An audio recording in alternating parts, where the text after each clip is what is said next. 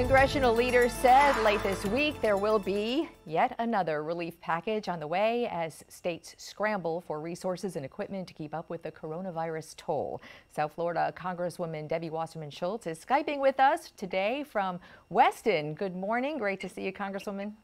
Good morning, Glenna. You too. Thanks for having me. So I want to start, uh, we'll get to that in just a minute, but I want to start with a town hall that you ha uh, had on Friday with uh, State Rep Shevrin Jones, who um, had this sort of remote town hall. And something that you said really struck me that uh, you've been surprised that despite all of these stay at home orders, how many people are still out and about.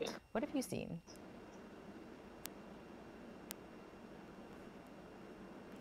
Uh, can we check if the Congresswoman can hear us well? Yes, I can hear you. Okay. I can hear you. Yes, Glenn, I heard your question. Oh, okay. Yeah, I um, we, we I had to deal with a uh, with a family emergency and thus had to uh, to travel not only through my town, hometown of Weston, but all the way down to uh, to South Miami.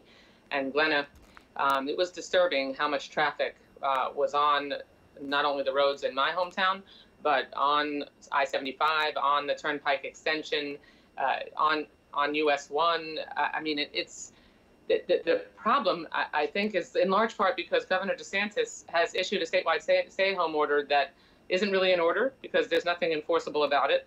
Um, and it has so many loopholes, so many ex exemptions for businesses deemed essential that really shouldn't be, that we have a lot of people both not taking this seriously and not staying home, and too many people on the road uh, uh out and about as if there really isn't anything wrong. And we have the, this is the third largest state in the country, and we, we have a growing problem whose apex has not been reached and I'm concerned that Governor DeSantis' policies have are not doing everything we can to flatten the curve. You know, we spoke a little bit about that with the lieutenant governor. I'm not quite sure if you were able to hear our interview earlier no. in the show, but what do you think about the, uh, the statewide order is one order. There is a patchwork all over South Florida, cities and municipalities of stay-at-home orders that some are stronger than that one from the state, but where does personal responsibility come in? Do we really need orders for people to do what they're supposed to do to keep safe?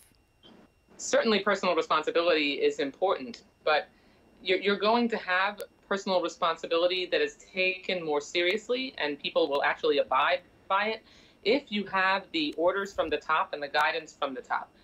There has been nothing certain about what Governor DeSantis has been saying throughout this. He still hasn't issued a statewide beach closure. I mean, you actually, on some beaches, I believe Volusia County's beaches are still open.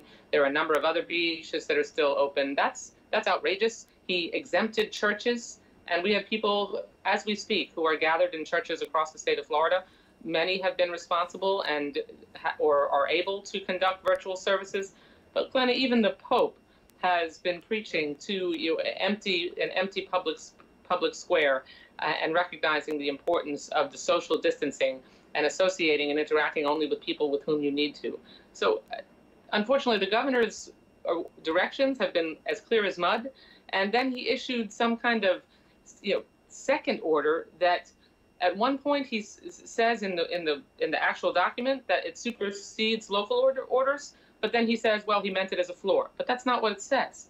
So how are people supposed to know what to do and take personal responsibility with a Swiss cheese approach to making sure that we can keep people safe. I, I, want to I want to uh, talk about the, the stimulus bills, both past and future. We, uh, sure. one of your colleagues, Debbie Mucarsel Powell, was with us last week. She spoke a little bit about a fourth bill that was on the way, and this week Senate Leader yes. Mitch McConnell said Congress should really right now focus on the shortcomings in the 2.2 trillion dollar relief package that was just passed. What do you see as those shortcomings? What do you think that's about? Well, I don't think we have uh, a focus, a need to focus on shortcomings. Uh, certainly, if we were going to, a shortcoming is that we have businesses that are far too large that were that were uh, allowed into this initial small business assistance. I mean, businesses that have as many as 500 employees, while they certainly need help, because we only uh, appropriate about 350 uh, billion dollars, and it's first come first serve you're going to have the more well-organized, larger businesses, uh, defined as small here, eat up those funds quickly. So we're going to need to make sure that we go in and provide a lot more resources and make sure that we can, in my view, put let language into the law that says that We're going to start with those smaller businesses who are really going to get the short end of the stick if they don't have the personnel to get up and running and make sure they can get on top of this uh applying for these funds. We, we also have a need to really add funding to all of the other programs, the economic injury disaster loans, the, uh, the, the, the, pandemic payments that, that, uh, that, that were included.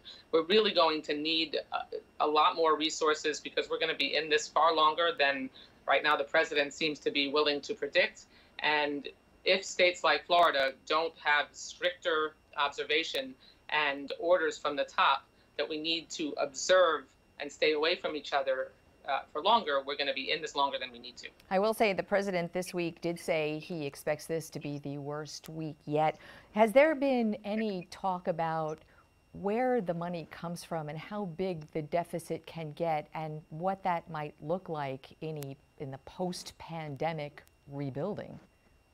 Well, this is why we should not have passed, when the Republicans were in the majority, a massive tax break uh, package for you know, millionaires, billionaires, and large corporations that was completely unpaid for. That blew a larger hole in the deficit. So, but you know, um, that that what's done is done. When it comes to emergency funding, we have to focus on making sure we can appropriate those funds and get get them out fast. I do want to mention the unemployment insurance disaster that we have here in Florida as well, though, because that's the volume of calls that I'm getting into my office, Glenna. Uh, Rick Scott, when he was governor, completely broke the unemployment compensation system, and Ron DeSantis unfortunately didn't fix it.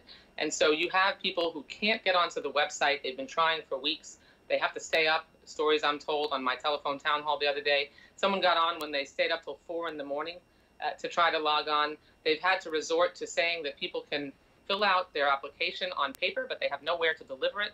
And they can't submit it online yet because there's no mechanism to do that. And by the way, they can't find the application on a mobile device. That's in the specific instructions. So, you yeah. know, why didn't Ron, Ron DeSantis get upset about fixing this system, which Rick Scott, Scott designed to actually uh, douse the numbers of unemployed? You know, we've had 250,000 people who filed for benefits in our state, but yes. that's a very low number uh, because of how difficult it's been to log on to the system. Yeah, we, we actually, and we're getting those calls, you're right, we're getting those calls every day, all day. And we did address that with the lieutenant governor, and, and she had outlined a couple of things that they're trying, and we absolutely will be watching that. Congresswoman, thank you so much. Great to have you with us. You're welcome. Appreciate your time.